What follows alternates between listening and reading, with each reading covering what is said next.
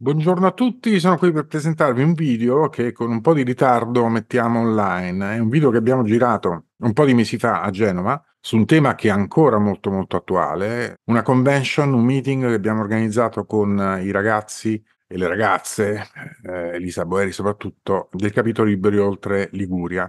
È stato un meeting, un convegno che abbiamo fatto volendo trattare questo tema della della mancata applicazione della Bolkestein in Italia, con relatori sia eh, interni di Liberi Oltre, adesso vi dirò i nomi, e poi con docenti eh, dell'Università eh, di Genova. C'era un Andrea Felici, che è un cartografo, un nostro iscritto, che ha presentato un piano dettagliato della applicazione, o meglio, della assegnazione delle concessioni balneari nel territorio ligure, c'era il professor Francesco Munari, ordinario di diritto dell'Unione Europea, che ci ha descritto quali sono i termini nel dettaglio della normativa Bolkestein.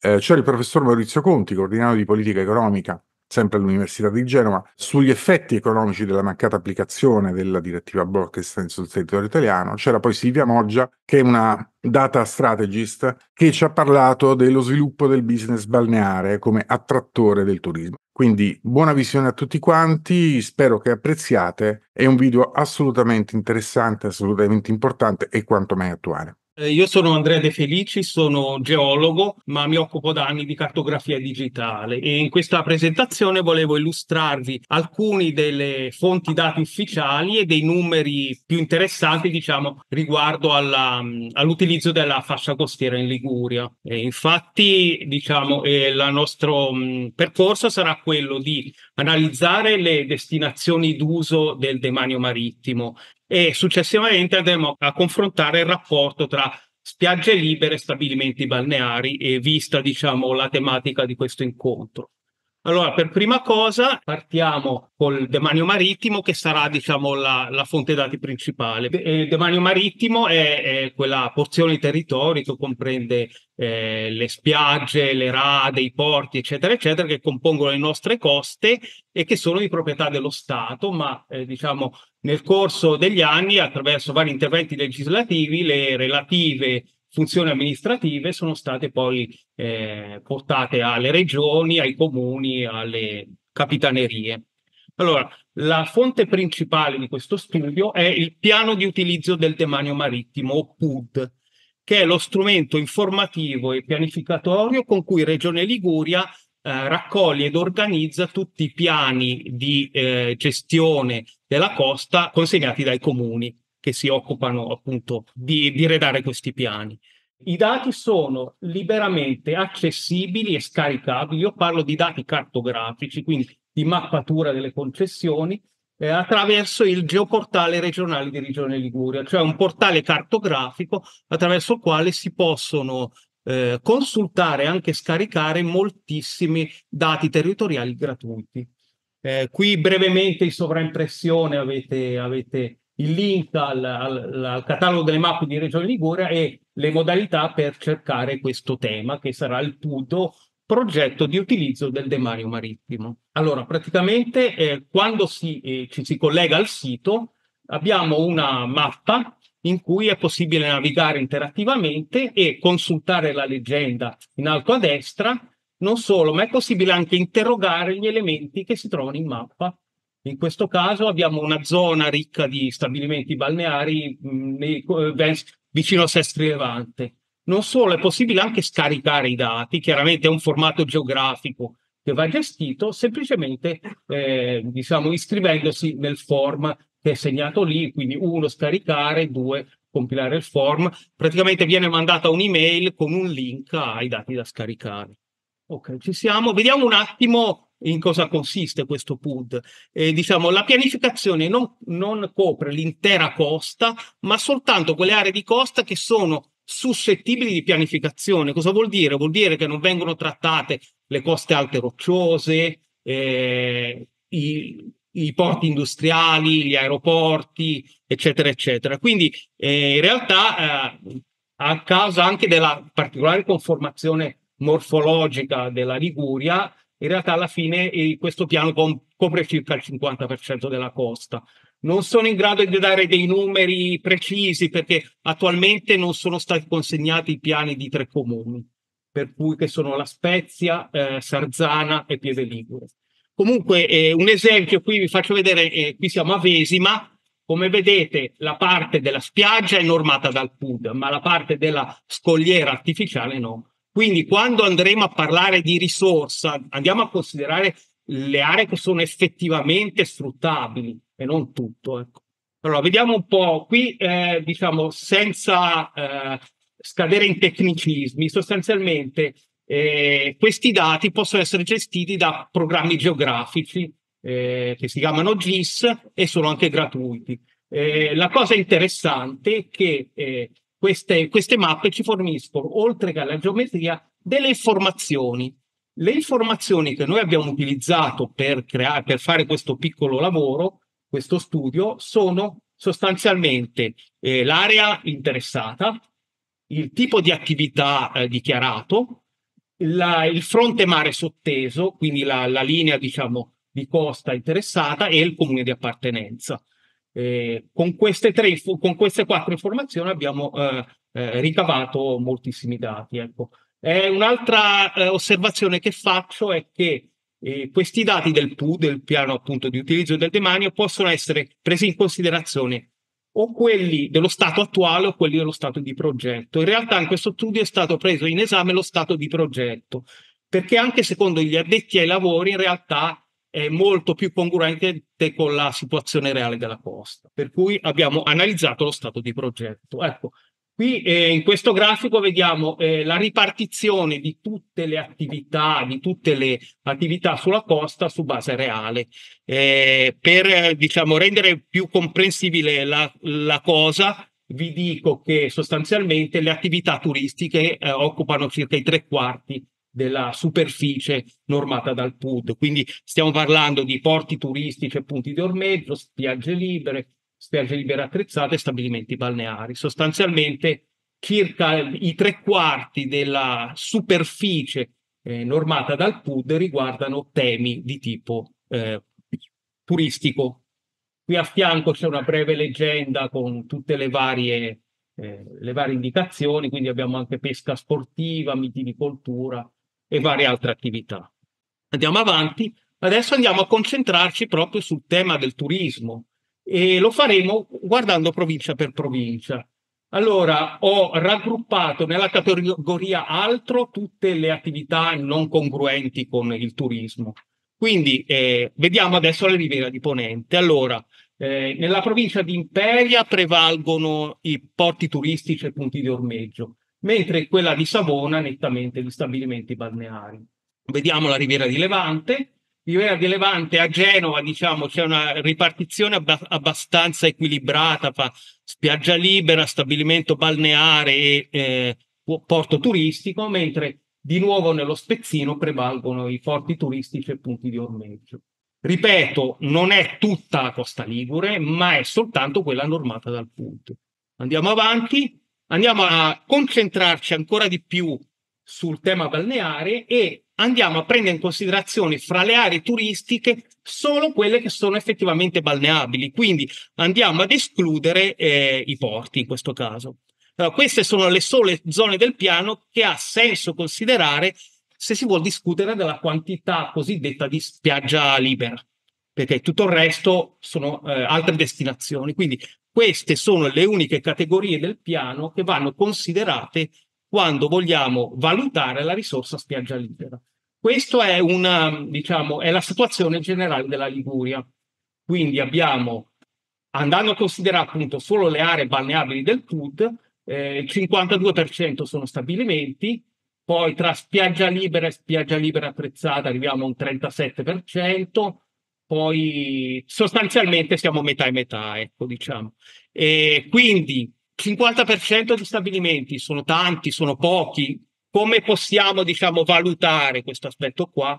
Diciamo, una delle possibili metri di valutazione per il rapporto fra spiagge libere e stabilimenti, per esempio, è la legge regionale 1399.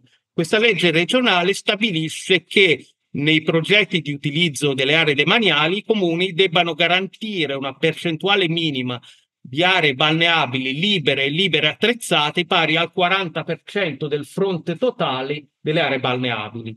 Se questo 40% non viene, non viene raggiunto, allora eh, i comuni non potranno rilasciare nuove concessioni. Ora l'approccio è diverso da quello che abbiamo visto fino adesso, perché finora abbiamo considerato eh, il demanio marittimo a livello areale. In questo caso la legge ci ci dice invece di effettuare una misura lineare, cioè viene valutato il fronte mare, quindi il tratto eh, di costa afferente a quel determinato elemento. Qui comincia a sorgere qualche dubbio, nel senso che i dati ufficiali di regione che, che vengono trasmessi dai comuni sono abbastanza incerti. Quindi io ho parlato un attimo con eh, diciamo, i tecnici di regione sostanzialmente hanno ri, ridisegnato, rimisurato l'estensione del fronte mare, fatto queste misure lineari che sono più precise perché sono su base di cartografica di dettaglio, però non hanno carattere di ufficialità. Quindi noi prendiamo le cose come sono. Vediamo quali sono i risultati. Ecco, applicando le metodologie descritte dalla legge regionale 1399, Qui eh, abbiamo in linea generale in tutta la Liguria una percentuale di spiaggia libera e libera attrezzata intorno al 50%, ma in realtà la, la mm, situazione è molto variabile da comune a comune.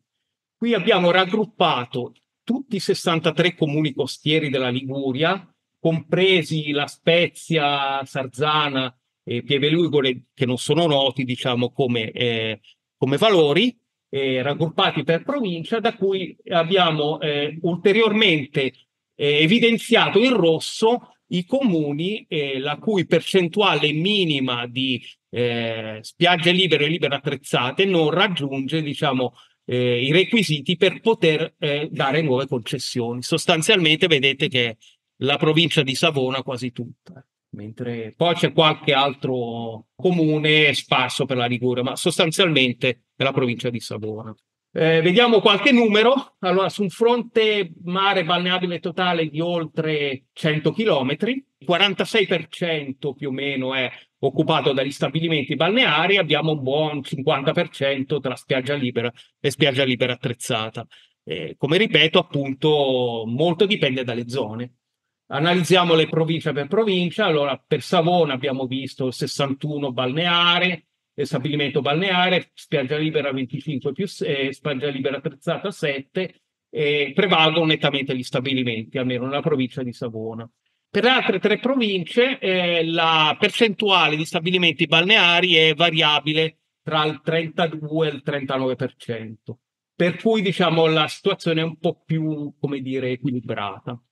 Eh, torno un attimo, abbiamo parlato di misure lineari, torno un secondo alle misure areali, qua ho fatto una banale media da cui risulta che praticamente la superficie media degli stabilimenti balneari sono sui 2000 metri quadri e le spiagge libere 1600. Quindi però questa è una, proprio una media fra, tutto, fra tutti i valori. Ecco. Quindi abbiamo parlato di provincia di Savona. E in effetti in alcuni comuni come Alastro, Laigueglia, Loana, eccetera, eccetera, si tratta eh, praticamente di, quasi della saturazione. Qui a fianco ho evidenziato un tratto di costa presso Loano, in rosso sono segnati gli stabilimenti balneari. A livello addirittura di regione c'è un rapporto, il cosiddetto rapporto spiagge di Legambiente del 2022 che attribuisce alla regione Liguria dei numeri da record addirittura a livello europeo. Quindi si distacca un po' da questo studio che ho fatto, a cui risulterebbe che solo il 52% delle coste si occupa di stabilimenti. In realtà lo studio di Lega Ambiente è limitato alle aree sabbiose e con la costa bassa, che sappiamo che in Liguria non, non predominano. Senz'altro qui eh, ho riportato i dati ufficiali riguardo alla composizione delle, della costa ligure, quindi vedete che ci sono porti, eh, composizione rocciosa, sabbiosa e ciuttolosa. Come vedete, la sabbiosa in realtà rappresenta una percentuale minima. Quindi anche lì, se si vanno a, sele- a considerare soltanto appunto le, le, coste basse sabbiose, ma ripeto, per la Liguria forse un po' limitativo, eh, abbiamo i numeri più alti d'Italia, cioè abbiamo, secondo il rapporto di Legambiente, la percentuale di costa sabbiosa occupata da stabilimenti balneari più alta d'Italia, pari al 69,9%, comunque siamo seguiti a ruota da Emilia Romagna e Campania. Un altro dato interessante, diciamo, di questo rapporto è che Liguria, la Liguria ha il maggior numero di concessioni balneari per chilometro di spiaggia. Questi sono i confronti con le altre regioni. Un'altra caratteristica, diciamo, interessante della nostra regione è il fatto che, avendo i monti alle spalle molto vicini, è molto facile che le, i litorali siano attraversati da foci di torrenti che potrebbero in qualche maniera influire sulla qualità delle spiagge della balneazione. In questo caso eh, sono tutti dati che ho calcolato io, praticamente utilizzando un software di analisi territoriale ho valutato la percentuale di areali, di stabilimenti balneari e di spiagge libere e libere attrezzate che si trovano entro una fascia di 20 metri dalla foce di un rivo. Chiaramente questa è un'analisi generale, poi le situazioni più o meno importanti eh, variano caso per caso, però da questa analisi preliminare generale risulta che la percentuale di spiaggia libera e libera attrezzata entro 20 metri dalle foci è il 9%. Per quanto riguarda invece gli stabilimenti balneari abbiamo circa 6,6%, quindi uno può pensare, eh no, ma le spiagge libere sono tutte vicino alle foci, sì e no, insomma. Eh, questa analisi molto generale eh, dà questi, questi risultati. Eh, oltre al piano di utilizzo del demanio, un'altra fonte ufficiale che ho utilizzato è eh, una, un dato che non è geografico, è semplicemente una lista. Questa è una lista ufficiale di strutture balneari eh, eh, che si può eh, ricavare dal sito di Regione Liguria eh, risalente al 2019. Anche in questo caso, prendendo solo il valore numerico eh, indipendentemente dall'estensione, abbiamo una netta predominanza diciamo, dei, degli stabilimenti nella provincia di Savona, abbiamo al 59%. Diciamo. Questi sono dati ufficiali di, di qualche anno fa. Diciamo. Eh, tornando sempre a questa, a questa lista, ho fatto anche, siccome c'erano le informazioni, una distinzione fra il tipo di spiaggia. Vediamo che sta- negli stabilimenti balneari prevale l'arenile di sabbia col 62%, mentre per quanto riguarda invece le spiagge libere e libere attrezzate, diciamo, eh, ci si attesta a, a metà e metà fra sabbia e ciottoli. Anche questo può essere un, come dire, un indizio della qualità della spiaggia, se vogliamo. Un altro eh, fonte dati ufficiale sicuramente da tenere in considerazione è il sistema informativo del demanio, SID, cioè praticamente quella banca dati nazionale verso cui vanno a confluire tutte le informazioni amministrative relative al demanio marittimo. E quando i comuni, diciamo, fanno il loro piano del demanio, mandano a regione alcuni dati, mentre per quanto riguarda il SID, credo però, oh, non ho conferme, eh, diciamo, eh, molto diffuse, che eh, in realtà molto spesso si tratta solo di informazioni amministrative non geometriche. Nonostante questo, diciamo, eh, il sistema informativo del demanio è la fonte dati principale eh, a cui si è attinto, diciamo, il Ministero delle Infrastrutture per eh, la mappatura della risorsa spiaggia. E a questo punto eh, vediamo alla questione scarsità. E dai risultati del lavoro portato avanti dai tecnici appunto del Ministero risulterebbe che eh, solo il 33% delle coste italiane risulti oggetto di, di concessioni. E il problema è che in realtà eh, non sono riuscito bene sinceramente a capire le metodologie di valutazione di questa risorsa. Io vi riporto più che altro dati giornalistici, nel senso che non sono riuscito a trovare eh, personalmente delle fonti. Io, siccome lavoro un po' in questo campo, anche le coste le ho misurate, vorrei capire, diciamo, esattamente come è stato fatto. Però mi sorge qualche perplessità. Innanzitutto dovrebbero essere dati incerti, perché è complesso misurare la lunghezza di una spiaggia. Può, può farlo benissimo eh, chi, è, chi, ha sempre esperienza in questo campo, però eh, appunto rifacendomi a dati giornalistici vedo che la lunghezza della costa calcolata dal Ministero sarebbe di circa 11.000 chilometri che sinceramente sono 3.000 chilometri in più di quelli ufficiali dell'ISPRA che è l'Istituto Superiore di Protezione Ambientale. Già questo potrebbe essere un dubbio.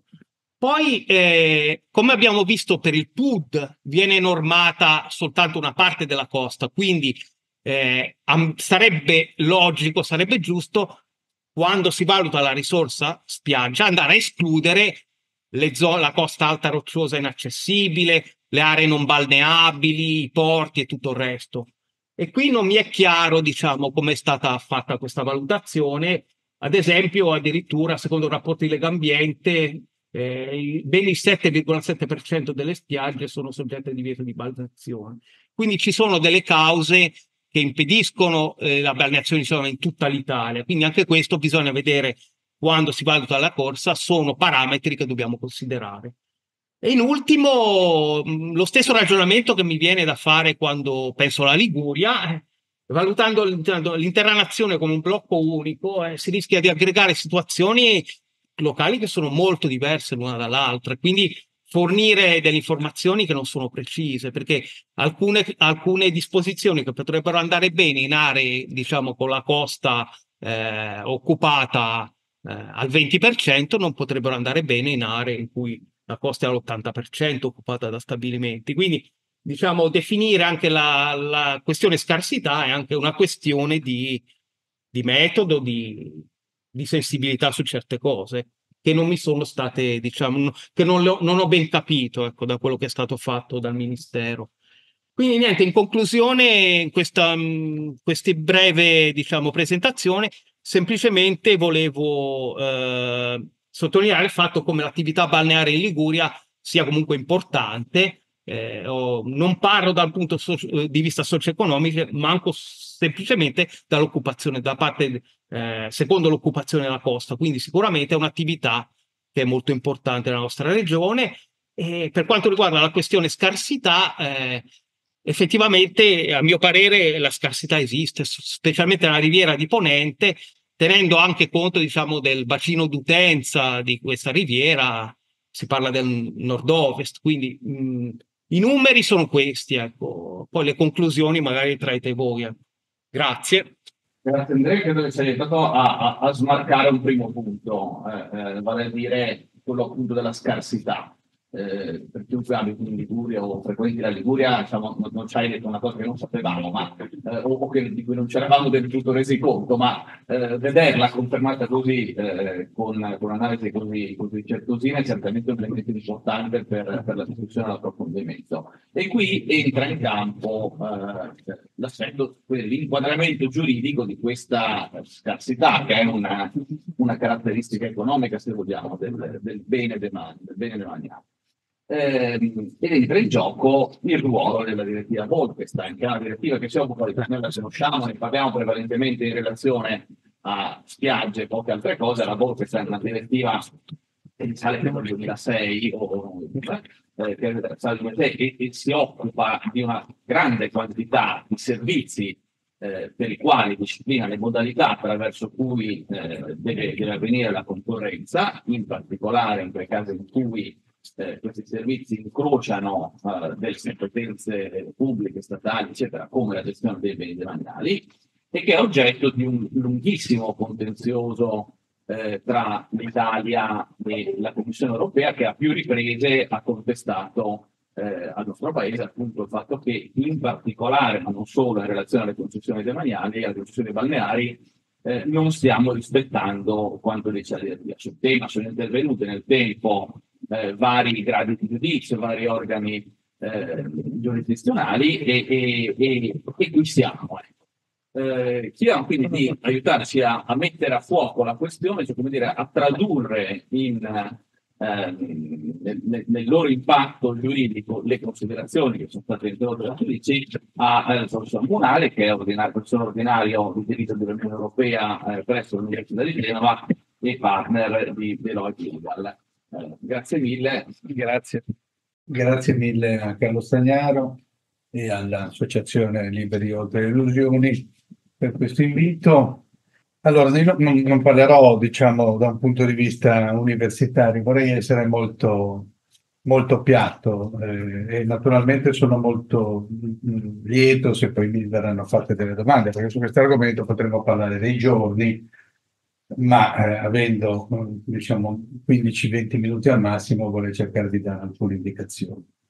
Ehm, e premetto che io non, cioè nel merito, come, come dice anche il titolo della mia relazione, questa situazione di incertezza non giova a nessuno, in particolare non giova agli imprenditori eh, del, del, del, settore che eh, in questa incertezza non riescono a programmare alcunché, non riescono a rendere quindi eh, come vorrebbero le proprie attività imprenditoriali. Allora, parto 30 secondi soltanto per collegarmi a quello che è stato appena detto da Andrea De Felici in termini di risorsa scarsa.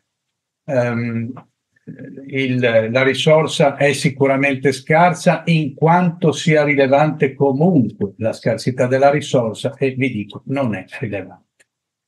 Cioè, il, rispetto al documento tecnico di cui parlava anche Andrea eh, sul 33% di, di spiagge concesse e restanti apparentemente libere, allora vi leggo soltanto quello che scrive la Commissione che ha esaminato il famoso risultato del tavolo tecnico del governo italiano e dice non riflette una valutazione qualitativa delle aree in cui effettivamente è possibile fornire i servizi di cui stiamo parlando, del resto lo diceva anche Andrea, non tiene conto delle situazioni specifiche a livello regionale e comunale.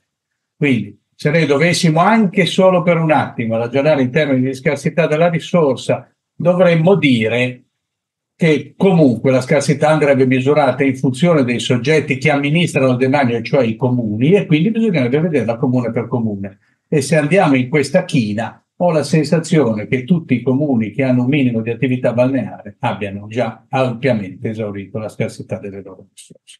Dico un'altra cosa, e poi non ne parlo più perché davvero questa della risorsa scarsa è l'ennesimo tentativo acrobatico, causilico di trovare degli appigli per non guardare in faccia la realtà e, mh, e cioè che la risorsa scarsa eh, è, è, è, francamente, eh, come dire, ingannevole in una prospettiva diacronica, perché se anche fosse vero che abbiamo ancora il 10% di demanio da allocare per concessioni, una volta che sono allocate torniamo nel problema della risorsa scarsa, quindi cioè alla fine avremo dei soggetti che hanno stadi di protezione diversi in funzione de, di, di un periodo temporale che non ha alcun fondamento giuridico e francamente ci sono anche dei principi di ordine costituzionale, cito quello della iniziativa economica privata, soprattutto del principio di eguaglianza, che sono un po' stridenti con l'ipotesi per cui valga invece il detto chi ha avuto ha avuto, chi ha dato ha dato e scusami che passate, perché eh, obiettivamente non si può pensare di trattare un, un, un, settore così importante per il nostro paese per la nostra regione in questo modo.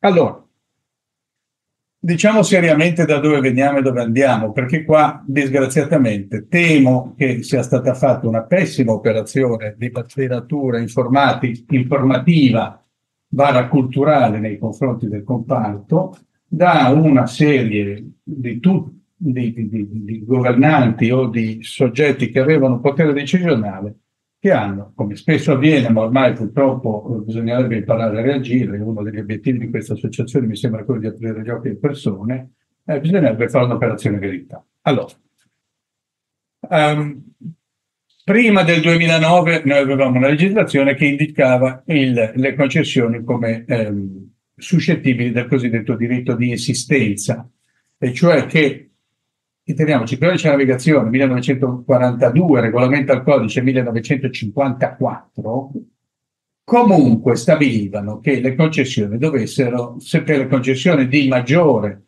di maggiore interesse, ci dovesse essere un, un certo tipo di evidenza pubblica. Eh, e che quindi dovessero essere regolarmente poste a gara, con il diritto di insistenza, che se volete è una specie di diritto di prelazione, per cui a parità di offerta eh, prevale il soggetto cosiddetto in cambio, cioè quello che c'era già. Um, intendiamoci, eh, il, eh, già l'ipotesi di ehm, prevedere una eh, possibilità di fare delle procedure a istanze di parte pubblicate per mettere in concorrenza sulle eventuali ipotesi di eh, soggetti che intendono anche loro svolgere la stessa attività nell'ambito dello stesso demanio, fa parte di un, di un elemento essenziale della scelta del nostro legislatore di avere il demanio, ne parlava della De Felici, eh, articolo 222 del codice civile, il demanio è una risorsa strategica per questo paese. Per cui lo Stato non vuole trasferirne la proprietà, se ne riserva la proprietà e consente l'uso ai soggetti privati in funzione di valutazioni che, secondo la legge, articolo 37 del codice, garantiscono il più proficuo sfruttamento del demanio. Anche perché, vogliamo dircela tutta, se dovessimo fare cassa col demanio, bisognerebbe vendere. Ma allora sì che aggiustiamo anche il bilancio dello Stato.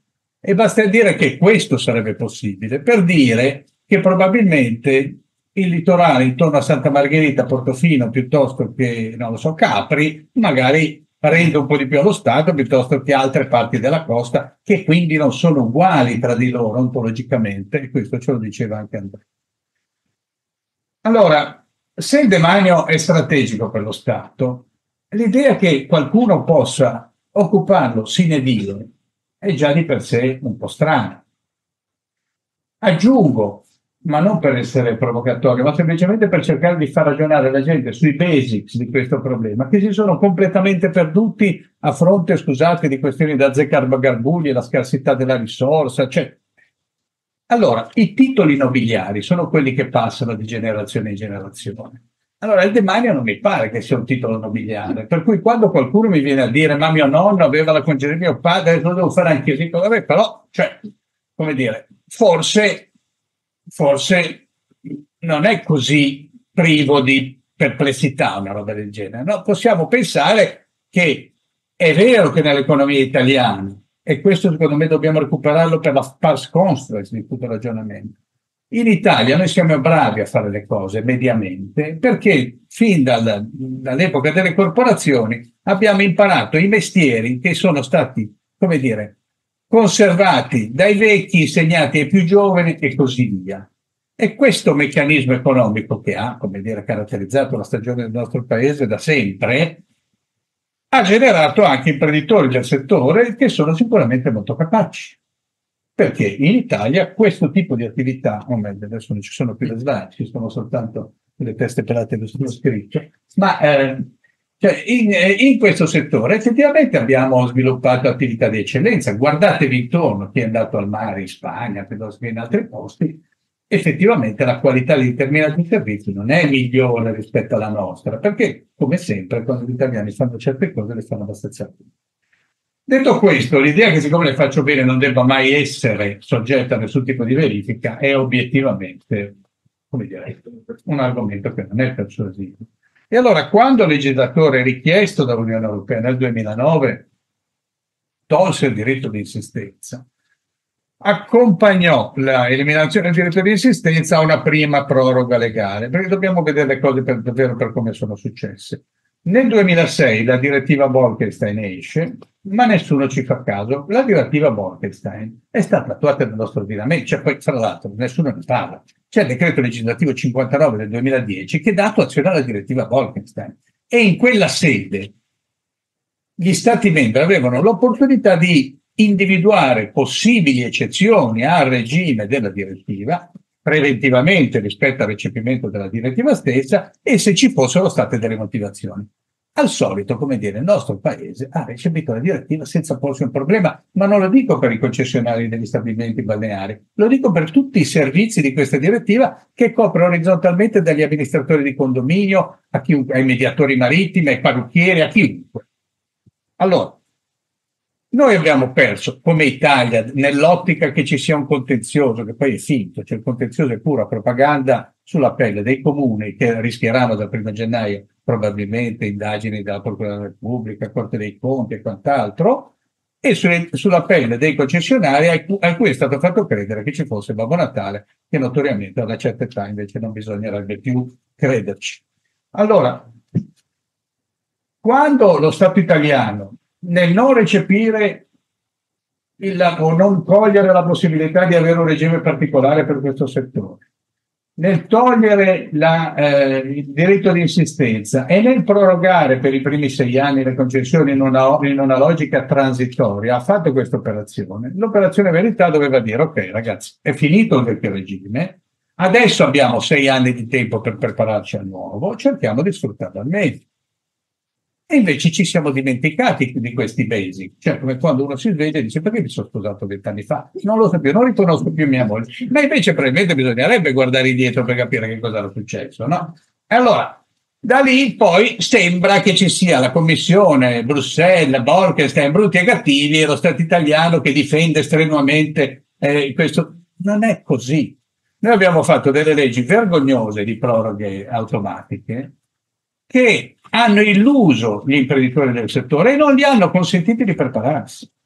Di, di, io faccio anche di mestiere l'avvocato, come è stato detto, e come forse qualcuno di voi sa, ma io eh, ho detto a molti imprenditori negli anni scorsi, fate una domanda al vostro comune, chiedete di pubblicare la domanda per avere una concessione, associato un piano di investimenti, la pubblicano, nessuno verrà a cercarvi e si avete un titolo stabile. Allora io ci ho anche provato in questa città. Morale, i funzionari del comune hanno, hanno capito fischi per fiaschi fino a quando non ho ritirato, ho fatto ritirare l'istanza a un concessionario che mi, mi aveva dato fiducia, ma purtroppo, come dire, eh, ci sono anche altri elementi che oltre alla fiducia dell'avvocato è di 15 giorni fa una sentenza del Consiglio di Stato che rispetto esattamente a questo modello ha garantito il, rinnovo ventennale ad alcuni concessionari che avevano fatto domande in un determinato comune d'Italia e che quel comune, grazie al fatto che qualcuno leggeva le regole invece di, di far finta di aveva semplicemente pubblicato la domanda sfogando quel momento pubblicitario che è richiesto ai fini della, della, della validità del titolo, come, come insegna o come richiede il diritto dell'Unione Europea. Quindi non stiamo parlando di problemi di astrofisica particolarmente complessa. Questa cosa poteva essere gestita molto bene, molto semplicemente, molto in accordo con il cluster imprenditoriale di cui stiamo parlando, semplicemente facendo le cose che il codice della navigazione stabilisce di fare dal 1954. Allora, che succede? Succede che adesso rien ne va obiettivamente. Cioè, col 31 dicembre, tra le altre, come dire, Lost in Translation, la sentenza di Cassazione ha annullato le due sentenze gemelle del Consiglio di Stato e qui, le quali avevano detto che la proroga del 2033 era francamente illegittima, e quindi ritorniamo alla proroga. Non è vero, c'è il TAR Roma di, del 15 dicembre, quindi quattro giorni fa, che dice di cosa stiamo parlando, i principi sono ampiamente vigenti. Quindi c'è continuamente un illudere le persone, facendo, creando smarrimento che determina obiettivamente una situazione non, non per, nulla, per nulla corretta. Quindi dobbiamo uscire allo scoperto per fare, per fare delle eh, procedure di pubblica e eh, gli strumenti che io sto facendo praticare ad alcuni comuni italiani che da tempo hanno cominciato a porsi seriamente questo problema, ehm, sia in questa regione che in altre, sono strumenti che in nessun modo, perché intendiamoci, il comune, ancora più del governo, ha un rapporto di vicinanza con i propri cittadini, con gli imprenditori del proprio comune. Cioè, non ho visto mai, parlando in nessuna delle tante ipotesi di lavoro, tavoli nei quali sono stato coinvolto in questi ultimi anni, cioè il sindaco piuttosto che l'assessore che vuole fare, tra virgolette, macelleria sociale. Voglio far venire i plutocrati russi e sbancare tutto l'arenile per fare le coste con le pietre preziose. Cioè, non c'è nessuno che vuole fare una roba del genere. Allora, come facciamo a eh, uscire da questo impasse, garantendo soprattutto agli imprenditori del settore tempo dell'investimento, ammortamento dell'investimento, progettualità coerente con i piani regolatori, con i piani delle spiagge, con i piani urbanistici, con tutte cose che negli anni si sono stratificate. Valorizzare al meglio le capacità imprenditoriali in una situazione nella quale io ho la certezza del mio titolo. So che per 10 anni, 15, 20, a seconda della montata dei miei investimenti, sono lì padrone e faccio le cose come voglio fare, cioè sviluppo non un'attività come purtroppo è necessitata spesso, tra virgolette, di sussistenza, perché quest'anno ancora la stagione, un altro anno chi lo sa. È venuta la mareggiata, dovrei fare dei lavori nuovi, non ci riesco perché cosa mi succede tra un anno. Queste sono preoccupazioni ipercomprensibili per, per gli imprenditori del settore. Che non sono sanabili attraverso le dichiarazioni radiofoniche, televisive o i, i, lanci di tre righe di qualcuno che sta a Roma o da qualche altra parte che dice tutta sta roba non si tocca, faremo opposizione, andremo. Non andiamo da nessuna parte. La giurisprudenza è granitica dal punto di vista della necessità di fare procedure di evidenza pubblica. Ci sono alcune procure della Repubblica che stanno affilando le armi e a Genova purtroppo qualcuno ne ha fatto le spese, come è noto a tutti spero ma eh, dal 1 gennaio 24 i comuni che non si muoveranno rischiano. Alcuni comuni stanno gestendo, io seguo un comune che ha tipo 500 congestioni balneari, si, tra, si trova dall'altra parte di questo, di questo, paese, quindi potete immaginare dove sto, dove sto più o meno andando a parare. Allora, se tu hai 500 concessioni e arrivi a metà dicembre che devi ancora fare il primo atto, come dire, di governo su questa roba qua, probabilmente l'unica cosa che puoi fare è immaginarti di fare una procedura evidenza pubblica con un termine dove dice a tutti che devono preparare una loro offerta per porzioni di demanio che il comune intende assoggettare a eh, evidenza pubblica. In altri casi c'è la procedura del codice della navigazione, che è quella ad esempio scelta in un altro comune, questo della Liguria, dove c'è un termine, o si, si vuole dare un termine, entro il quale i concessionari che sono interessati a proseguire il rapporto di concessione fanno una domanda la corredano con un piano di investimenti che sia coerente con gli strumenti urbanistici, pianificatori, regolatori e chiedono la pubblicazione di questa domanda sulla quale potranno esistere, come no, domande concorrenti, ma badate che nella maggior parte dei casi il comune è in grado di limitare l'azzardo su, questa, su questo tipo di situazioni, perché non c'è nulla di male, ed è quello che è stato fatto negli atti programmatici di cui vi sto parlando, a valorizzare le ragioni della piccola e media impresa, le ragioni delle imprese familiari, le ragioni dell'esperienza specifica nel comparto. Cioè, se mi arriva, ripeto, il, l'oligarca russo o lo sceicco che, come dire, decide di prendersi tutta la Versilia, così parliamo di un posto che non è in Liguria, cioè, i comuni hanno ben ragione a dire no, io cioè, intendo, e lo vedete nei documenti pianificatori che ha presentato Andrea poco fa, io intendo destinare le demani a certe cose diverse. Io ho avuto dei casi sempre nell'Adriatico dove è stato valorizzato, dove è stata valorizzata un certo tipo di demanio eh, a scopi sociali, perché il demanio è pubblico anche perché non deve essere necessariamente ad appannaggio di chi paga di più, perché io esperienze alla Twiga o Billionaire, fra- francamente mi fanno un po', un po ribrezzo, nel senso non, cioè non, siamo tutti in grado di andare a Cortina piuttosto che andare a, a Twiga e spendere, credo, 500 euro al giorno per due ombrelloni, una roba, capite? Allora, questo non è la scelta dello Stato italiano quando ha deciso di demanializzare, perché il demanio serve a controllare che ne sia fatta una fruibilità in funzione di diverse vocazioni, che possono essere l'associazionismo sportivo, che possono essere le scuole, che possono essere i soggetti con disabilità, possono essere mille cose che nello sviluppo di un pensiero pubblico di interesse generale il comune può decidere di mettere in, in linea. E quindi vi dicevo, in questo importante luogo turistico dell'Adriatico, il più grande compendio di spiaggia balneare, da sempre destinato al turismo dei ragazzi meno abbienti che vanno d'estate in vacanza, rimane così e non me ne frega niente che ci sia lo sceicco che mi darebbe 500 milioni di euro per prenderci un chilometro e mezzo di spiagge, perché io lì da sempre ci mando le scuole d'estate e voglio continuare a usare il demanio così perché non voglio fare cassa. E non sto facendo quei ragionamenti che dall'altra parte si sentono dire 106 milioni di canoni demaniali presi a fronte di 5 mila miliardi di ricavi del settore che non pagano le tasse. Questa roba qui non ci interessa. Cioè facciamo dei ragionamenti seri. E i ragionamenti seri sono c'è la possibilità per il comune di instaurare un dialogo serio con le categorie, di imparare dalle categorie quello che è il mestiere, perché non tutti, come dire, i funzionari comunali, molti sono svegli, devo dire, eh? ma non tutti hanno magari la sensibilità di dire io faccio questo, vorrei mettere questo tipo di servizio, questo tipo di ristorazione, questo tipo di... Quindi ben vengano proposte dei privati, perché è quello che succede nei porti, ad esempio, non è che è l'amministrazione portuale che decide come vuole un terminal, glielo dice il terminalista aspirante tale.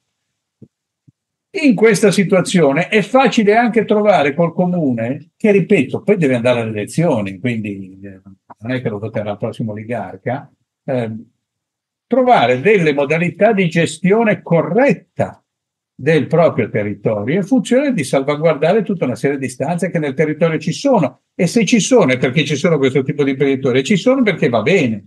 Detto questo, tante cose devono anche essere migliorate e cambiate, perché probabilmente le cabine di plastica che andavano bene negli anni 70, oggi forse la valorizzazione di una città e di un, di un tessuto turistico balneare come il nostro meriterebbe qualcos'altro. E sono convinto che questo sia, ripeto, una volta che, abbiamo, che siamo usciti dalle bugie, perché francamente di queste si tratta, sia un percorso molto dialogico che possono fare sia gli imprenditori, le loro, associazioni, eccetera, sia i comuni, in un'ottica davvero che poi consenta di rivitalizzare un settore molto importante per il nostro paese e garantire che tutti quanti finalmente, come dire, escano da queste forche caudine della Bolkestein e pensino non più di avere un qualcosa che chissà cosa succederà tra un anno, ma direi io per i prossimi 10 anni, 20 anni, 15 sono tranquillo, pieno di impresa, sono sicuro di poter contribuire all'economia della mia azienda, ma anche alle eccellenze del tessuto territoriale. In alcune ipotesi noi stiamo valutando col comune anche investimenti al di fuori del demanio che però rendano più attrattiva complessivamente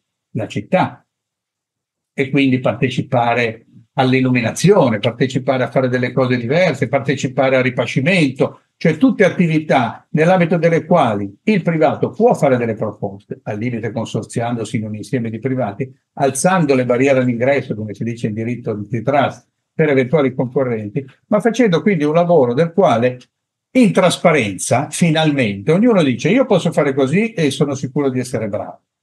Qual- qualcuno probabilmente, scusatemi sempre la, la la colloquialità ci lascerà le penne, ma cioè, io ho vissuto in vita mia situazioni di subconcessioni dove il concessionario pigliava, pagava 5.000 euro di demani e poi subconcedeva per uno o due ordini di grandezza di più. Allora, queste situazioni non sono tollerabili. Quando l'hotel importante per avere i 20 metri di arenile davanti deve pagare, tra virgolette, il pizzo a quello che sta davanti a lui e che ha la concessione, capire, queste sono situazioni che sono molto rare, ma che, non, che, secondo me non devono più esistere in un momento trasparente. La grandissima parte degli operatori di questo settore non sono in questa situazione e crederei che non vedano l'ora di poter valorizzare le loro capacità in una logica di reciproca tranquillità e capacità pianificatoria che poi il sale di tutte le scelte importanti, perché voi non vi sposate per stare insieme un anno con vostra moglie, ma pensate più a lungo, non fate, cioè le grandi scelte della vita richiedono tempo in questo settore, grazie alle bugie che ci sono raccontate, il tempo non è più un fattore invece importante. È opportuno invece cominciare a ripensare in un'ottica nella quale la programmazione consentirà a tutti di stare sicuramente meglio. Vi ringrazio. E direi che le ultime considerazioni sono perfette per passare eh, la palla a, a professor Maurizio Conti, che è il professore ordinario di politica economica eh, all'Università di Genova e, e, e, che appunto ci veda capire cosa comporta, cosa può comportare questo cambio di paradigma, diciamo, faticosamente metabolizzato, in via di metabolizzazione, per gli imprenditori del settore. Sì, sembrano temere che eh, le gare potrebbero compromettere la sostenibilità delle loro, delle loro attività. Grazie, grazie per l'invito all'Associazione Liberi Oltre. Sono eh, d'accordo con moltissime delle cose che ha detto, che ha detto il professor Monari e ne aggiungerò alcune. Ora, mh, mm, io mi sono occupato, ho cominciato a occuparmi un po' di questo tema, eh, diciamo era prima del Covid, era nel 2019, ricordo, con, con un collega, il professor Cardullo del Dipartimento di Economia, perché onestamente in quel periodo sulla stampa eh, leggevamo ehm, in modo abbastanza univoco, c'era unicamente la voce del mondo balneare, c'era il mondo politico che era, devo dire, molto sdraiato eh, sulle esigenze, insomma, su quello che diceva il mondo balneare, e c'erano effettivamente dei toni che ci sembravano eh, allarmistici. Eh, si parlava di crollo del settore, crollo occupazionale, si parlava di invasione delle multinazionali estere, si parlava poi, era, dopo un po' si è cominciato a parlare di, eh, di assenza, il fatto che non, non c'era scarsità della risorsa e eh, ragionandoci un po' da economisti ci sembravano tutte cose che avessero poco senso. Ora, sulla, eh, penso che sulla scarsità della risorsa sia già stato detto tutto, non, non c'è molto da dire, ne direi una sola. È che insomma, nel corso base di microeconomia noi insegniamo che l'economia si occupa delle risorse scarse e se una risorsa non è scarsa, il modo per capirlo è uno, è semplice, è fare la gara. Se la risorsa non è scarsa, il prezzo di giudicazione è zero. Quindi è molto, molto semplice, cioè si può discutere quando si vuole, se la risorsa non fosse effettivamente scarsa, nessuno, io sono convinto che su una, una spiaggia eh, eh, in Spagna, 200 km, ecco, se si prova a fare una gara lì il prezzo sarà vicino allo zero. Qua a Portofino, a Zovagli, a Sestri Levante, la situazione secondo me è un po' diversa, quindi è chiaro che la risorsa è scarsa, però anche su questo non vorrei perderci davvero più tempo, per come diceva giusto Francesco prima, insomma, abbastanza, abbastanza inutile. Allora, sui eh, crollo occupazionale, allora, mh, perché non mi convince? Eh, perché secondo me in prima approssimazione potrebbe non succedere niente di, di, di eccezionale. Allora, il punto è abbastanza semplice. Ora, eh, come possiamo descrivere l'organizzazione industriale di questo settore? Ora, probabilmente, tenendo conto del fatto che sì, c'è un po' in vari punti, c'è qualche spiaggia libera, ma sappiamo benissimo, ed è vero che varia a livello locale, quindi magari io ho molto in mente, molto in mente la Liguria, eh, in altre regioni potrebbe, o in altre zone, in altre province potrebbe essere, potrebbe essere un po' diverso, ma c'è una forte domanda e c'è un accesso che è limitato, perché ci sono un po' di spiagge libere, ma c'è una zona, una bella fetta di di accesso tramite stabilimenti balneari. Da un certo punto di vista, visto che ci sono, come posso dire, dei vincoli di capacità, li chiamerebbero gli economisti, c'è una grossa domanda e lo sappiamo bene cosa vuol dire, a volte non si, vuole, non si riesce ad entrare in certi stabilimenti balneari in certi periodi dell'anno, in certi momenti della settimana. possiamo parlare di un, di un oligopolio con, eh, con, delle, con, delle, capacità limitate in qualche modo. Eh? Questo fa sì che i prezzi siano più alti rispetto al costo di produzione del servizio. C'è fondamentalmente quella che gli economisti chiamano una rendita oligopolistica. Cos'è una rendita oligopolistica? È di fatto un profitto che viene fatto dall'imprenditore in eccesso rispetto al costo della risorsa negli usi possibili alternativi in attività simili con un profilo di rischio simile un bar, non lo so. Quindi, eh, da libro di testo, eh, se andiamo nel caso estremo, nel caso di non siamo ovviamente nel settore del mondo balneare, ma se andassimo nel caso estremo, per semplicità, il monopolio, insegniamo ai nostri studenti che il monopolista fa appunto degli extra profitti e il valore di questo extra profitto cos'è? È il valore che il monopolista sarebbe pronto in una gara a offrire per diventare per gli anni successivi il monopolista. Quindi da un certo punto di vista ci sono molto probabilmente degli extra profitti, lo vedremo dalla gara ovviamente. Extra profitti cosa intendo? Intendo il fatto che un imprenditore balneare ottiene mediamente di più, probabilmente, rispetto a un salario normale che si potrebbe dare e un rendimento normale sul capitale derivante dall'investimento, cosa intendo per normale, in settori con un profilo di rischio simile. È possibile stimarlo, ci sono dei metodi, ma non è davvero questo il punto. La gara ha proprio la funzione di far emergere se esiste questo extraprofitto. In alcune zone potrebbe non esistere, probabilmente a Portofino, eh, a Santa Margherita Ligure, probabilmente emerge, esiste e la gara dovrebbe fare emergere questa opportunità. Se non c'è, meglio, siamo tutti contenti. Se c'è, visto che stiamo parlando di demanio, secondo me è giusto che se ne appropri lo Stato e non un nobile con investitura da 3 o 4 generazioni. Mi sembra che sia importante. Potrebbe voler entrare sul mercato anche un giovane che non può permettersi di pagare magari ecco, una licenza in maniera centinaia e centinaia di migliaia di euro. Ora, in un contesto di questo genere, il canone, ovviamente, cosa succederebbe di fronte a una gara? La gara può essere fatta in mille modi, eh? può essere fatta anche, come diceva prima eh, il professor Monari, in tema di, di, di, di, quanti investimenti facciamo, come li facciamo. Se venisse fatto dal punto di vista invece anche, anche una buona parte dell'offerta, quanto l'imprenditore è disposto a pagare per, per svolgere il servizio, beh, eh, in prima approssimazione quello è un canone di accesso al mercato. Il canone di accesso al mercato è una cosa che paghi una volta, non rientra più nelle decisioni di prezzo del, dell'imprenditore, quindi fondamentalmente le decisioni rimangono inalterate. Quindi se l'impresa che entra ha la stessa efficienza di quella che dovesse subentrare, molto probabilmente le decisioni sarebbero le stesse. Eh, I prezzi sarebbero simili perché c'è una rendita di monopolio, di oligopolio se vogliamo, di quella se ne approprierebbe lo Stato in fase di gara, non, non, non c'è altra rendita oligopolistica o monopolistica. Quindi di fatto il prezzo sarebbe più o meno quello che verrebbe, quello che c'è adesso, in larga parte. E, quindi fondamentalmente anche le decisioni, anche data la domanda, il numero di persone sarebbe più o meno lo stesso, e il numero di bagnini o di persone che, deve, che lavora al, al, bar o al ristorante sarebbe più o meno quello.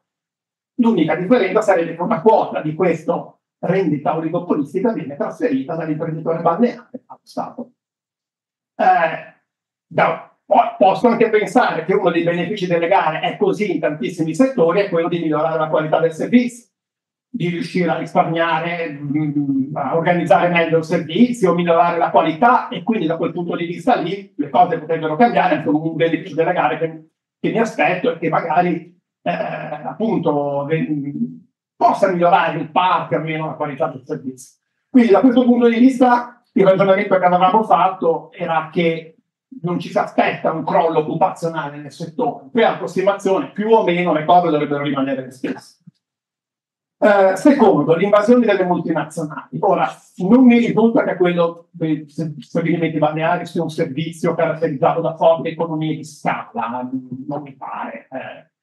Quindi non vedo perché un grosso imprenditore dovrebbe arrivare in virtù della propria maggior scala produttiva a riuscire a fare delle, delle offerte a prezzi più bassi. Eh, teniamo anche conto di una cosa poi. L'unica cosa che potrebbe succedere faccio qua l'avvocato del diavolo, potrebbe arrivare veramente l'oligarca russo che dice mi prendo tutta la Liguria e a quel punto lì mi prendo tutta la Liguria, eh, a quel punto divento veramente il monopolista alto il prezzo. Però questo è ridicolo, perché come diceva giustamente il professor Munari, è sufficiente scrivere, non lo so, che c'è uh, nel bando di gara appunto che si vuole privilegiare la piccola e media impresa, avere una certa destinazione per l'uso, immagino, non so se giuridicamente si possa fare, ma si può anche dire che in una provincia una, non si può avere più di una o due concessioni. Beh, la cosa è finita lì, perché anche questa delle multinazionali mi è sempre sembrata una cosa um, fondamentalmente um, ridicola.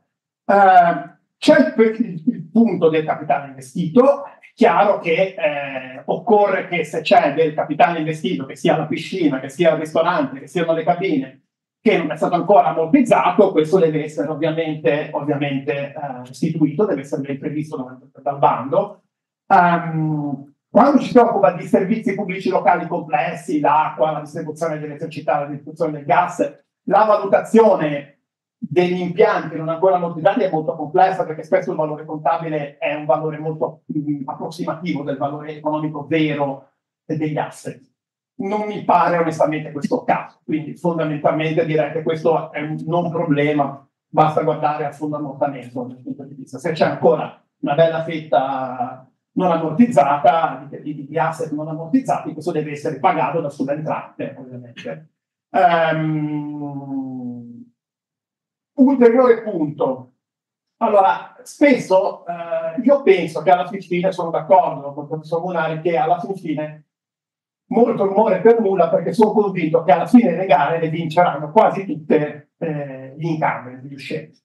Guardate, è così in Francia nel settore idrico. No? Sono cent'anni in, in, Francia che fanno le gare. Ora, io è un po' che non ho più di questo problema, ma quando ero un po' più giovane eh, ci lavoravo su questi temi e fino ai primi anni 2000 mi pare che il cambio dell'incambio del settore idrico inglese e scusate, eh, francese, dove il 50-60% dei comuni sono gestiti da 5-6 grandi, grandi imprese idriche, sarà avvenuto 3-4 volte. non di più. Perché? Ma perché l'incumbent ha delle conoscenze maggiori del settore. Cioè l'operatore balneare conosce la composizione della domanda, conosce la composizione, conosce il clima, conosce le giornate buone mediamente, ha un vantaggio informativo. E in teoria delle aste c'è una cosa che noi chiamiamo maledizione del vincitore. Gli economisti chiamano maledizione del vincitore. Perché? Perché fondamentalmente se c'è un bene che ha un valore abbastanza simile per tutti, cioè l'accesso al mare, okay? quindi immaginiamo anche di avere 10, 20, 100 imprenditori che partecipano a una gara, non ci saranno mai, ma insomma, e che abbiano tutti lo stesso valore, diano tutti lo stesso valore al bene. Ovviamente avranno delle stime un po' diverse, ma se ce n'è uno in particolare che ha delle informazioni migliori, gli altri si rendono conto del fatto che se vincono, probabilmente vincono perché sono stati troppo ottimisti sul valore di bene. Ovviamente non tutti sono stupidi, ne terranno conto e quindi in un contesto come questo ci sarà, scusate il termine inglese, underbidding, cioè tenderanno a, a, a, a offrire un prezzo di aggiudicazione più basso proprio per evitare di incorrere nella maledizione del vincitore. Esiste questa cosa, esiste nell'estrazione dei, eh, dei pozzi petroliferi negli Stati Uniti, l'hanno visto nelle gare delle, eh, delle, de, dello spettro, eh, e succederebbe anche qua. Quindi da questo punto di vista, come posso dire, ehm, saranno probab- molto probabilmente gli operatori in cambe che riusciranno a vincere, probabilmente con offerte che non neanche arriveranno al valore vero, tra virgolette, della rendita oligopolistica di cui parlavo prima. Tanto che dal punto di vista puro della teoria economica, immagino che non si possa fare dal punto di vista della teoria legale, verrebbe quasi da dire che bisognerebbe quasi svantaggiare l'Italia. Certo quindi altro che favorirli. Dal punto di vista dell'economica bisognerebbe quasi sfavorirli per, fa- per incentivare l'arrivo di nuovi operatori. Quello che porterebbe invece a favorire l'incumbent è la valutazione dell'asset. Ma anche lì ritorniamo, è un asset semplice, facilmente valutabile, quindi quantomeno in prima approssimazione, mettiamola così, non, non vanno né, né, favoriti né sfavoriti. Um, tutto sommato però um, ritengo che eh, quello che succederà fondamentalmente sarà veramente molto rumore per nulla. Cioè, sì, la gara riuscirà probabilmente a far sì che gli episodi più eclatanti ecco, verranno giustamente probabilmente eliminati, ma la stragrande maggioranza degli imprenditori balneari penso che riuscirà a gestirsi, eh, a gestirsi il suo, a, a, a risubentrare. Insomma, uh, certo, bisogna vedere come vogliamo organizzare la gara, se lo Stato volesse effettivamente fare cassa dal, dal patrimonio, dal patrimonio balneare, penso anch'io che non ci diventeremo ricchi e non risolveremo il problema del debito pubblico. Eh, qualcosina forse potrebbe entrare, ecco, insomma, eh, nei casi più eclatanti, insomma, erano usciti no, i casi di, di, di, alcuni alberghi di Santa Margherita in Ligure dove una stanza costa 3.000 euro a notte e pagavano 4.000 euro all'anno, ecco, per la spiaggia. Ecco, lì forse eh, un po' di gara, forse qualcosina eh, il comune di Santa Margherita Ligure potrebbe, potrebbe ottenere. Ecco. Um, però insomma, ecco, in prima approssimazione, veramente quello che è successo con questa Neverland Story invece è proprio quello di avere illuso la categoria intera per 10-15 anni, di aver bloccato gli investimenti okay? e, e, poi di arrivare a quello che diceva prima il professor Munari, e giuridicamente insomma, si dovrà arrivare a fare le gare di corsa, magari probabilmente fatte male all'italiana, quando invece con un po' più di coraggio si sarebbe potuto dire, ma insomma non avete niente da tenere, eh, avete anche delle competenze, entro certe misure un po' di protezione si può dare, prevista, mi pare, nella normativa, nella normativa europea, una sorta di favore per, per, per le piccole e medie imprese, no? anche nel procurement, mi pare. No? Per cui, veramente, anch'io penso che si sia fatto veramente molto rumore per nulla, ma è una storia piccola che però mi sembra purtroppo esemplificativa di molte cose che succedono in, che succedono in Italia. E, ci si è dedicato molto spazio, si è bloccato un settore quando forse non era il caso, sarebbe potuto pensare ad altre cose più, più importanti. Grazie.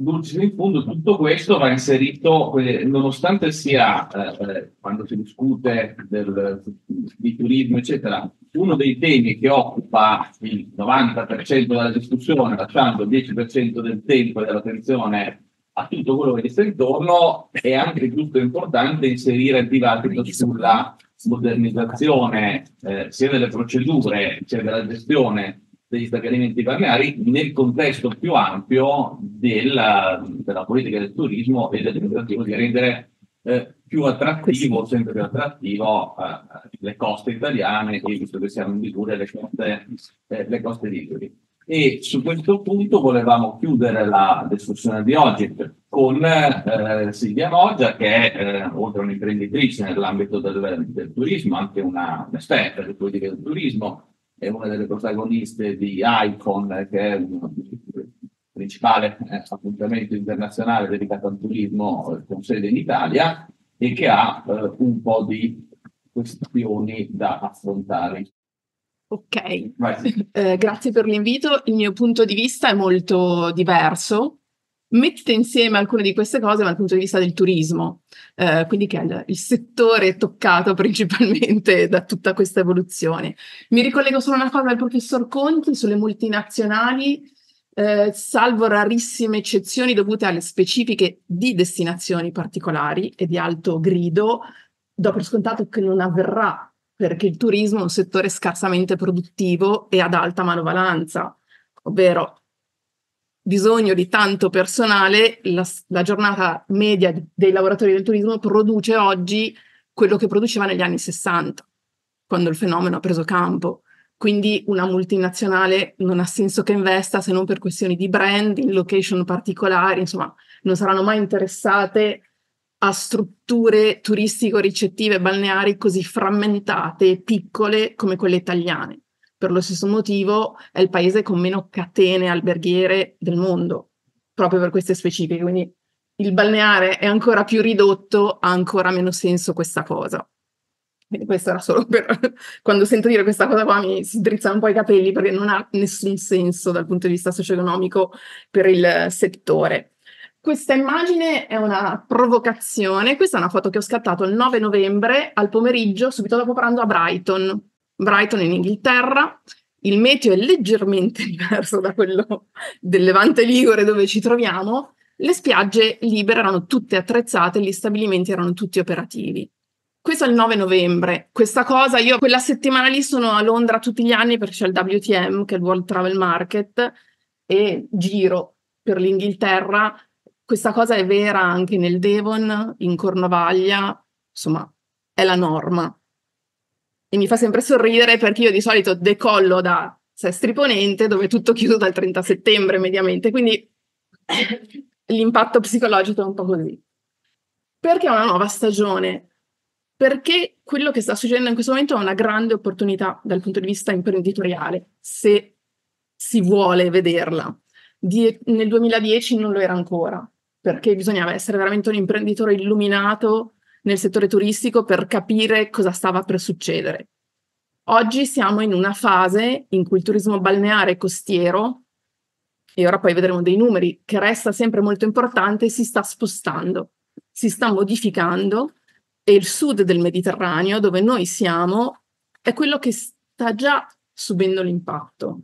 Quindi questa è una grande eh, opportunità. Qui ho messo un po' di numeri, questo a livello globale, da sapere che in Europa ha rappresentato il turismo eh, 572 miliardi, quindi è il 5% del PIL. Di questo il turismo cor- eh, costiero nel Mediterraneo rappresenta circa il 40%, quindi nel 2022 era 218 miliardi di euro e ha generato il 64% dell'occupaz- del- dell'occupazione di quella che viene definita la blue economy, quindi tutta l'occupazione turistica sulle coste, pressoché.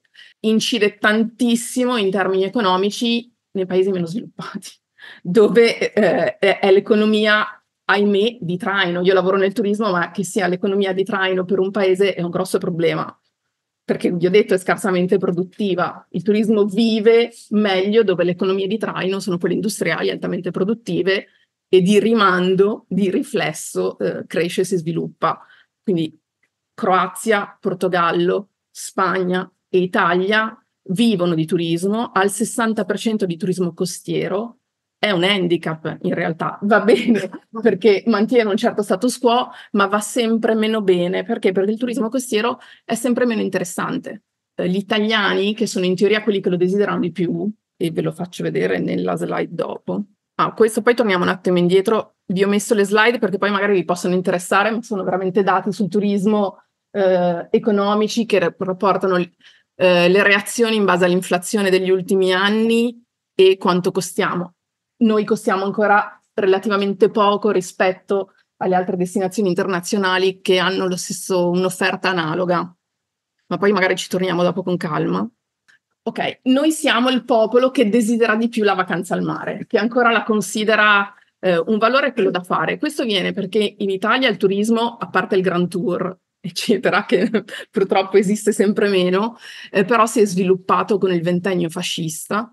Quindi dopo lo sviluppo del turismo balneare in Germania e in Inghilterra, noi siamo arrivati dopo nonostante le meteo, ventennio fascista e poi le colonie, poi il boom economico negli anni 60, era un turismo di massa, eh, era un turismo di massa del mese di agosto, chiusura delle fabbriche. Questa cosa ce la portiamo ancora dietro in qualche modo, perché continuiamo a chiudere le fabbriche e le aziende in città nel mese di agosto e per questioni culturali. Però non siamo il primo mercato, nemmeno domestico ormai, si sta erodendo questa cosa qua. Perché? Perché guadagniamo sempre meno e perché anche noi, soprattutto dal Covid in poi, abbiamo subito l'influsso e i trend del turismo internazionali, che ovvero non ha, ha sempre meno senso una vacanza solo balneare. Anche noi andiamo in vacanza dove possiamo fare altro, outdoor, ma anche visite culturali, interessi. Questa cosa era già vera da prima, sempre più vera per gli stranieri, che lo desiderano di meno, ma lo praticano di più. Perché? Perché hanno più disponibilità economica, i tedeschi in principal modo viaggiano molto di più di noi e hanno budget più elevati a disposizione del turismo. I francesi, grazie al loro sistema delle 35 ore o 205 giorni lavorati all'anno in base al tipo di impresa e alle ferie, non so se sapete come funziona, ma ogni settimana dell'anno c'è almeno una provincia di Francia in festa anche a livello scolastico. Per cui viaggiano di più tutto l'anno, hanno più budget a disposizione per farlo. Di di conseguenza sono quelli che praticano di più il turismo costiero in Europa. Si muovono molto di più eh, di noi. Perché è un'opportunità? Perché noi, la Liguria in primis, eh, le dinamiche, salvo rare eccezioni, sono il turismo balneare perché, cioè prima, si fa fatica a trovare posto negli stabilimenti balneari, perché da un anno all'altro, pur non sapendo come piazzerò i lettini e a che prezzo li venderò, io ne tengo una quota parte che in certi comuni è, arriva al 90% per proprietari di seconde case, i residenti e i residenti dei comuni dell'entroterra, che sono quindi comuni limitrofi. Di fatto, all'ultimo minuto, quando ho le tariffe, io vendo pochissimo. Tengo un 10% che è irrisorio e che va via tendenzialmente il sabato e la domenica se c'è bel tempo. E lo faccio con gente che frequenta già il comune da tempo, perché perché questo status quo che abbiamo tenuto per anni fa sì che sono rarissimi gli stabilimenti balneari digitalizzati o la cui offerta è inglobata nell'offerta turistica della destinazione. È una grande pecca perché di fatto da una parte ad oggi sono riuscita a vendere, a rivendere sempre lettini e cabine a chi viene da una vita. Dall'altro queste persone stanno venendo sempre meno, un po' perché gli anziani, i proprietari di seconde case, eh, eh, non ci sono più, i loro familiari seguono altre dinamiche, quindi queste persone si, se una volta, se quando ero ragazzina io bloccavano dal 10 giugno al 30 settembre, ora prendono due o tre settimane, a volte non continuative, quindi si sta erodendo un po' questa cosa. Con gli stranieri non avviene, gli stranieri ci sono sempre, organizzano i loro spostamenti con largo anticipo, se si punta, beh, chi viene d'oltreoceano il grosso delle prenotazioni viene tra 15 e 13 mesi prima. Perché? Perché i voli sono meno caro.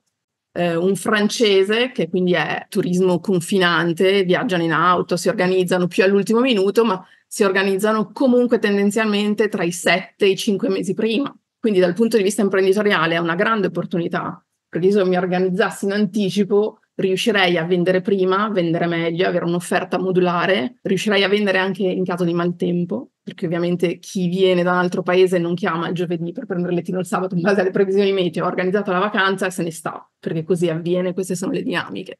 Dinamiche che la Liguria non sta sfruttando minimamente, ahimè. Io poi vi ho messo un po' di dati, questi sono dei dati per una società per cui faccio consulenza, Data Pill Company, sono presi da un prodotto dedicato alle destinazioni. Qui ho messo turismo balneare, questi sono i dati dell'Italia. Ve li ho messi perché? Perché vi fa vedere i mercati di riferimento. I mercati di riferimento, eh, come vedete, variano per pochi punti percentuali, ma stanno variando dal 2019 pre-Covid al 2023. Non ho preso riferimento 2022, 2021, 2020 perché i dati erano completamente sballati. Perché è importante capire qual è il mercato potenziale che io posso attrarre? Perché le dinamiche da un mercato all'altro cambiano. Posso modulare la mia offerta, posso decidere qual è il mio target ideale e cosa offrirgli e quando farlo, quando promuovermi, quando iniziare a vendere, eh, insomma, quello che tecnicamente si chiama re- fare revenue, quindi il ritorno sull'investimento, il ROI è molto più alto. Questo è il dato Italia. Ovviamente poi in Liguria, eh, qui vi ho messo anche una questione di andamento di sentiment trend, in Liguria i mercati sono diversi e i trend anche sono diversi. Ovviamente abbiamo il picco ad agosto in alto sulle presenze e sotto il sentiment, ovvero il valore percepito dal turista. È normale che ovviamente con i picchi di presenza il sentiment cali, quindi questo è un trend assolutamente normale. Eh, da noi rispetto ad altre regioni cala di molto, eh, cala di molto perché? perché in queste recensioni o conversazioni e tracce digitali online eh, noi paghiamo anche lo scotto del trasporto, perché sì che sto rec- recensendo in questo caso solo la struttura balneare, però se ho fatto sei ore di coda per arrivarci, arrivo già tendenzialmente un po' così nervosetto ed è molto difficile accontentarmi. Rispetto ad altre regioni, noi questo scotto lo paghiamo moltissimo.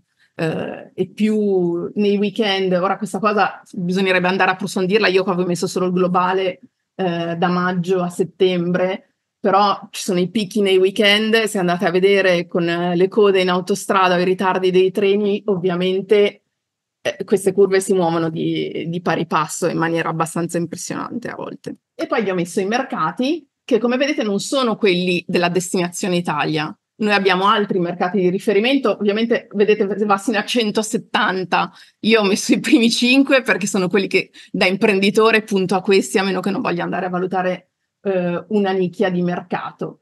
Il mercato francese è importante, però anche qui non è uguale dappertutto. La provincia da cui vengo io, grazie o a causa delle cinque terre del Golfo dei Poeti, ha mercati di riferimento diversi, nettamente diversi.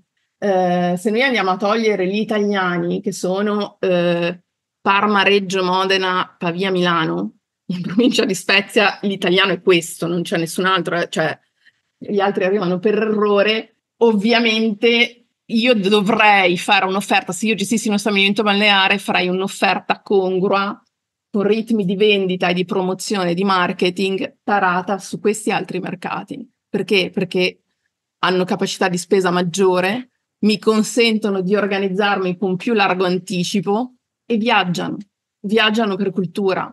Cosa vuol dire fare un'offerta per i francesi? Vuol dire che io dovrei cercare di mettermi d'accordo con gli hotel, ma anche con i musei, con tutto quello che è outdoor, perché loro privilegiano le attività culturali. Però fanno anche balneare. Cioè, questi sono, questi sono atti di balneare, queste sono persone che hanno affittato un lettino o sono state in un hotel che aveva la spiaggia di cui hanno usufruito nel loro pacchetto.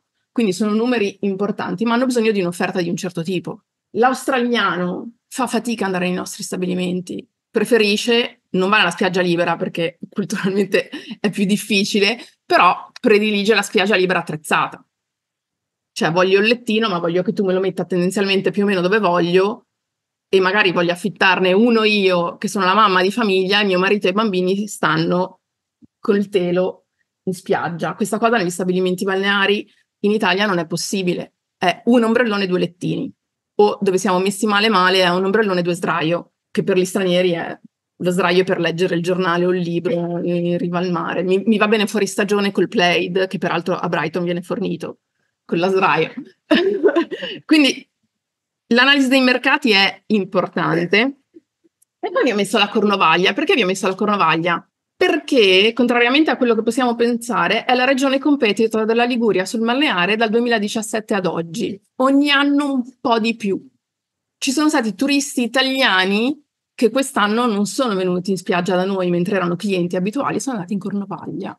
Perché? Perché l'offerta è analoga, rapporto qualità-prezzo, ahimè, è maggiore perché, perché non è ancora turismo di massa, anche se ci stanno arrivando e di fatto la Cornovaglia, questo è turismo passivo, nel senso che la Cornovaglia non si promuove all'estero, non fa promozione sul turismo baleare, lo fa sui borghi, su Mont Saint Michel, che hanno anche loro.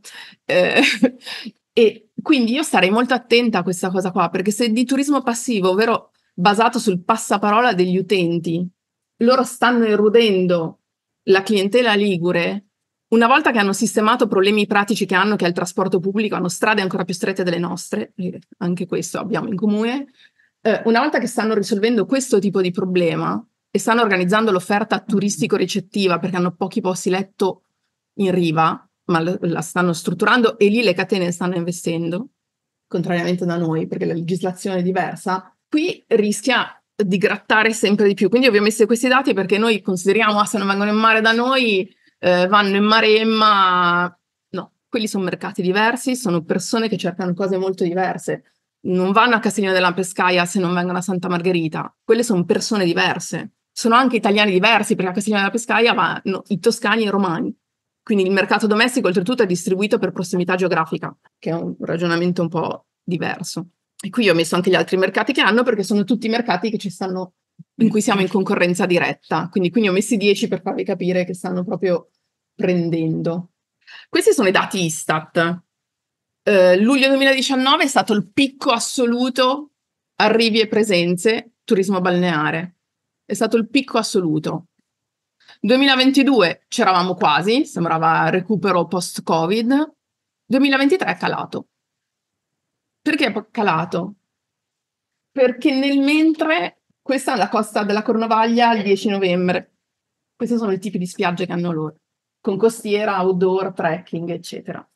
Perché è cambiato? Perché nel mentre, e il Covid ha dato un'impennata, ovviamente qui da noi inizia a fare caldo, ma fa caldo anche per gli italiani stare in spiaggia ad agosto da noi. Quindi la gente inizia a spostarsi in spiaggia, ci va da maggio, ci va da ottobre, eh, ci vado dopo la metà di settembre. Quindi c'è questa dinamica. Di fatto il turismo balneare a picchi in positivo ultimi, dal 2017, ma ha avuto un'impennata post-Covid sul Mar Baltico, che è dove avevano inventato il turismo balneare, insieme al Devon, e picchi in Inghilterra, Galles, eh, Cornovaglia, eh, la costa danese, le spiagge della Norvegia sono attrezzate oggi, non lo erano sino al 2019 sono attrezzate in modo molto diverso dal nostro, poi vi faccio vedere l'ultima foto, è quella per farvi capire, sembrano le Seychelles, no, è la Norvegia. Quindi c'è una questione di cambiamento climatico. Più a nord è sempre più gradevole passare l'estate. 25-27 gradi è piacevolissimo, è più piacevole anche per noi. Il turismo, se io mi sposto e lascio la mia nazione, deve essere un mix di offerta. Leisure, quindi spiaggia o montagna che sia, ma anche attività culturali, visite, deve avere un senso fare quello spostamento lì. Inoltre, noi in particolare, ma anche negli altri paesi europei, si fanno sempre meno bambini. Fare meno bambini cosa vuol dire? Che io non sono più legata alle vacanze scolastiche. Gli altri paesi non hanno più le chiusure estive, non ci danno più neanche le fabbriche le chiusure estive all'estero. Non esiste una fabbrica che chiude ad agosto all'estero. Quindi perché devo andarmi a spostare quando fa più caldo? Quando è più caro? Quando quell'alternativa lì posso trovarla in posti per me più vicini o gradevoli e spostarmi altrove. Quando c'è stata grande richiesta, qui io lo dico, io gestisco una struttura ricettiva al Levanto e quindi i, i dati del Levante Ligure li analizzo tutti i giorni, un po' perché ho accesso ai dati, un po' perché insomma per interesse diretto. Abbiamo avuto una domanda esagerata sul mese di ottobre. Dall'ultima settimana di settembre al mese di ottobre, qual era il problema? Che gli stabilimenti balneari erano chiusi. I tedeschi, era pieno di francesi, era pieno di americani, eh, quindi la spiaggia era, eh, io ti presto il pelo mare, ma non posso fare altro, gli stabilimenti sono tutti chiusi. Quella era una grande opportunità per fare revenue. Quando ho le richieste io nel Levante Ligure per la spiaggia, le sto avendo in questo momento per la prossima stagione. Non avrò risposta che vada bene sino al weekend di Pasqua, quando alcuni stabilimenti liguri inizieranno ad aprire la parte bar e quindi inizieranno a mettere la testa su dove posiziono gli ombrelloni, quali ombrelloni, come... Ora quest'anno è un po' particolare per la Volking, però anche negli anni prima era così. Quindi questo è, è, è tutto spreco in termini veramente economici e professionali.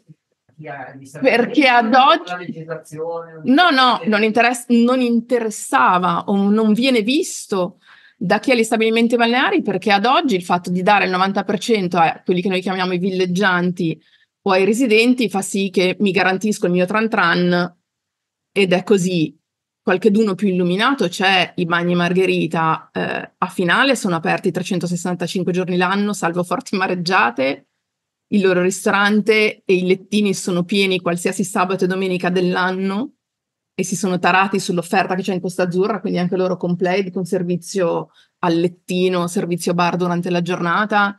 Quindi qualcuno più illuminato c'è, ma ad oggi bisognava incappare in quella cosa lì. Questo cambio, ripeto, nel 2010 dal punto di vista imprenditoriale era troppo oltre per ragionarci sopra, ora secondo me capita bene perché è una vera opportunità.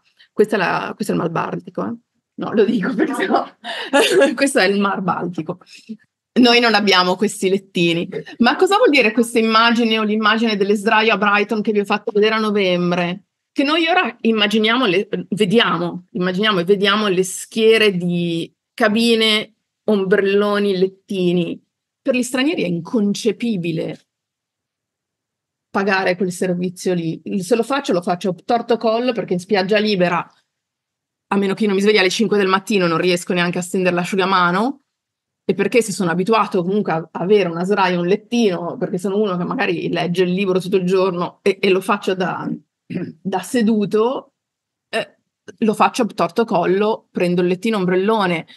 Ovviamente abbassa tantissimo la percezione e la reputazione di qualsiasi destinazione, perché loro si immaginano spazi di questo tipo, che oltretutto portano maggiore revenue, maggiore introiti a un imprenditore che non vuol dire fare tutta la spiaggia così, perché io posso avere, di fatto sono un po' così, un po' se vedete ci sono degli ombrelloni con le sdraio e poi c'è il lettino che posso piazzare in modalità libera, che è la cosa che costa di più.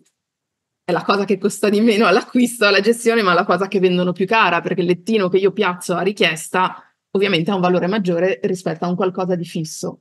E poi hanno le zone amache, e poi hanno ovviamente il wifi anche in spiaggia, perché per portare turisti tutto l'anno devo dare la possibilità alle sfortunate come me che possono viaggiare solo se lavorano quelle due o tre ore al giorno tutti i giorni, se no non mi posso muovere. E, ed è le sfortunate come me ormai sono una quota parte immensa di mercato turistico che hanno bisogno di lavorare. Quindi ha un'opportunità da questo punto di vista. Io spero che verrà colta, verrà vista al di là del panico, panico generale insomma anche per un imprenditore uscente eh, fare un'offerta che non sia solo economica ma anche di miglioramento qualitativo, di gestione qualitativa può avere un grande impatto sul, sulla propria azienda. Grazie Silvia, credo che hai dato delle, delle coordinate uh, e in parte rispondono anche a quello che si diceva prima sul tema de, delle economie di scala, credo, nel senso che noi, diciamo, ne, nella rappresentazione un po' fumettistica di questo dibattito, quando pensiamo alla scala abbiamo in mente appunto lo sceicco che arriva e si compra mille chilometri di costa, ma economia di scala magari vuol dire anche avere la forza per, fare, per avere un dipendente in più o eh, fare un piccolo investimento in più e veramente comprare, eh, dotare la spiaggia di quei... Eh, o digitalizzare e consentire prenotazioni online. O, o, o, programmare tutto l'anno, o tenere banalmente aperto tutto l'anno, che vuol dire anziché affidarsi a, a lavoratori stagionali eh, con un po' di fuori busta, eccetera, eh, costruire una, una, diciamo, un, un'impresa vera e propria, nel senso, nel senso, in cui lo sono tutte, la gran parte delle, eh, degli esercizi dell'attività economica. In quel senso lì, eh, io credo un, un, po' di spazio di, di, crescita anche per via di scala o di scopo, di gamma con, con, con altri prodotti ci sia, ci sia e possa essere significativa, e però richiede anche appunto, avere dei momenti di rottura in cui tu sei chiamato a decidere cosa fare tu o chi, o chi per te, cosa fare di quella, di quella concessione. Esattamente come il tema che oggi il modello di business di, questi, di queste attività è essenzialmente un modello di business caratterizzato da costi bassissimi e che quindi si sa per, perché eh, tengono chiuso a ottobre o, o, o aprile perché gli costa di più probabilmente assumere le persone, organizzare, eccetera, spesso studenti che quindi quel periodo hanno gli esami, la scuola, la pesca, eh? Eh, che portarsi a casa quelle, quei ricavi aggiuntivi. È chiaro che se tu invece ragioni su un battente di costi un po' più elevato e quindi ti obbliga a generare ricavi a loro volta più elevati o cercando il, il, il margine intensivo, cioè fare più soldi sul turista che viene perché gli vendi più cose, ma anche il margine estensivo, cioè portarti a casa più turisti perché anziché averceli da, da, da maggio a settembre ce l'hai da marzo a novembre o da marzo a dicembre o, o apri a cavallo di Natale o che ne so, eh, allora è chiaro che cambia il modo in cui tu eh, percepisci la tua... Sì, aggiungo solo una cosa, questa dinamica, ovvero arrivare allo shock e alla crisi per vedere l'opportunità, è comune a tutte le nicchie, a tutti i comparti del turismo. Eh, il turistico ricettivo l'ha vissuto qualche anno fa, noi lo chiamiamo effetto Airbnb, in realtà è stato affittacamere, bed and breakfast, la stessa cosa, hanno messo dei competitor reali estremamente competitivi davanti, hanno costretto il settore alberghiero a rinnovarsi e a guardare oltre. Sta succedendo ora, in ritardo rispetto agli altri paesi europei in particolare, nel settore della ristorazione. Da qualche anno i bar fanno ristorazione, seppur con surgelato precotto, però di fatto sono competitor attivi, molto competitivi, stanno costringendo il comparto della ristorazione a guardare oltre e a innovarsi. Quindi è, è un po' triste che bisogna arrivare al panico da crisi 15 giorni prima per guardare oltre, però di fatto è potenzialmente molto positivo ed è l'unico modo perché il nostro paese resti su questo mercato qua.